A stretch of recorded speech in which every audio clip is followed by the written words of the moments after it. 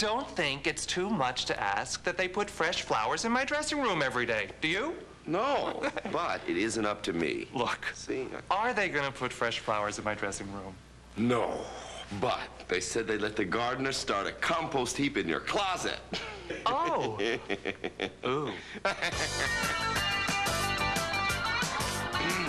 And now, time again for America's gamiest game show. But who's counting?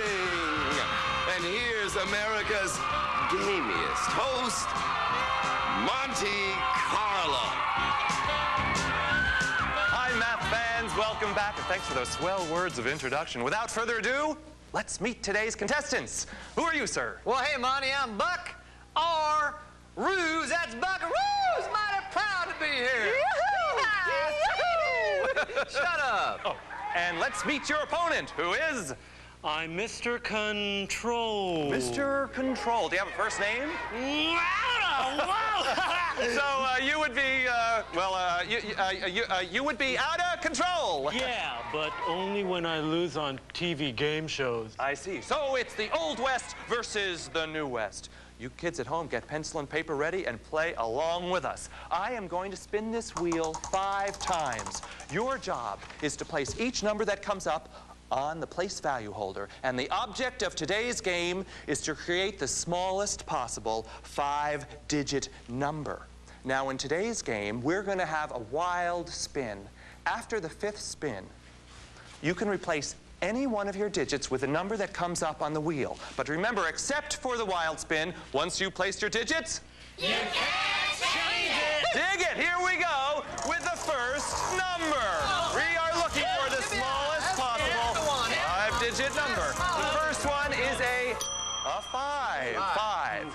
Here we go with the second digit. Round and round she goes where she stopped.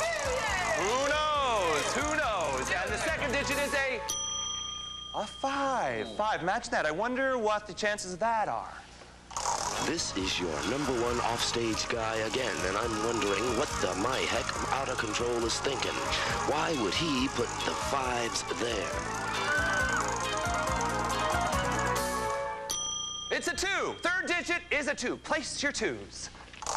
Buck Aruz has figured the chance of getting a zero or a one are not good, and has elected to put his two in the ten thousands place. He has assured himself of a pretty low number. Four. Fourth digit is a four. Place your fours. Out of control is still gambling that he can get a number less than two. Let's see if his thinking will pay off. Three. The fifth digit is a three. All right. This is the moment we find out if this has been a wheel of fortune or a dial of disaster. This is the wild spin. If you decide you want to replace one of your digits, pull it off now. Mr. Control removed the three, hoping that a smaller number will come up. Buck Aruz is playing it safe and replacing one of the fives. Zero.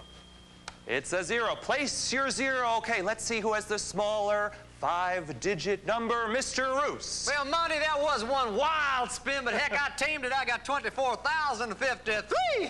24,053. Woohoo! Shut up. Oh, and Mr. Control. Monty, I- I've got 2,455. 2,455. An incredible gamble by Mr. Out of Control, and it has paid off in one of the most dramatic finishes these tired old game show eyes have ever seen. Mr. Control has pulled victory from the jaws of defeat. It was a great game, but Great Scott, time is up, and we gotta be off.